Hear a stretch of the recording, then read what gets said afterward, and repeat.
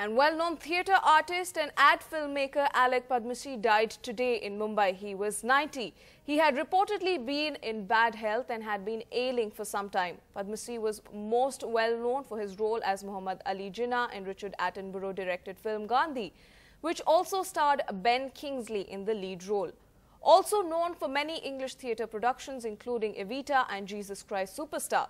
He was conferred the Lifetime Achievement Award for Theatre and the Tagore Ratna.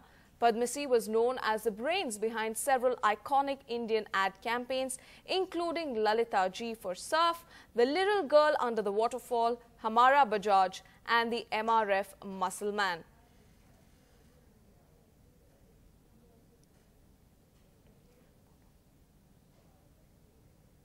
And tweets came pouring in on Twitter paying condolences on the death of Alyque Padamsee, several ad filmmakers and theatre personalities tweeted about uh, the demise and said that this was a huge loss to both the theatre industry as well as the ad films industry.